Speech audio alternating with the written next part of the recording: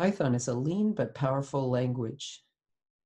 It's not bloated with a lot of unnecessary code, and yet we are able to take advantage of the many modules that people have contributed to Python over time through open source programming. So today we're going to see how we can import these other modules and also we'll learn just a bit about some features of object-oriented programming called methods. Just as a reminder, if you've come across this video and you didn't realize that it was a part of a series of programs, you can go to the CodeGraf landing page at vanderbilt.lt slash codegraf and learn more about this series of lessons. We'll start with talking about what is necessary to import a function.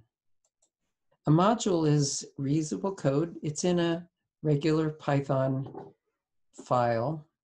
It has a p.py extension like any other Python programs.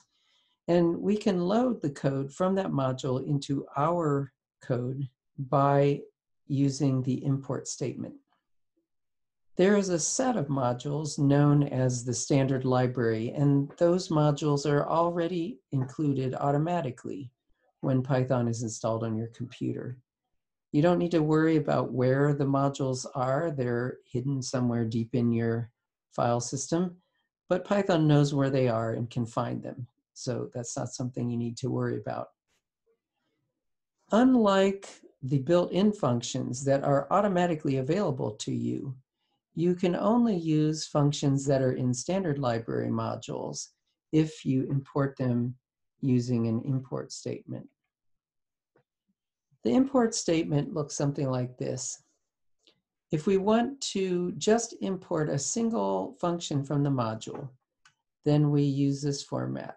We say from, and then the name of the module, import, and then the name of the function that we want to import.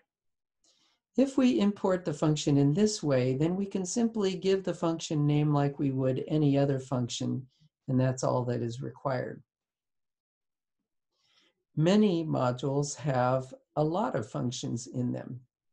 And so it would be kind of irritating perhaps to have a from import statement for every function in that module that we want to use. So another alternative is to just import the entire module by saying import, and then the module name.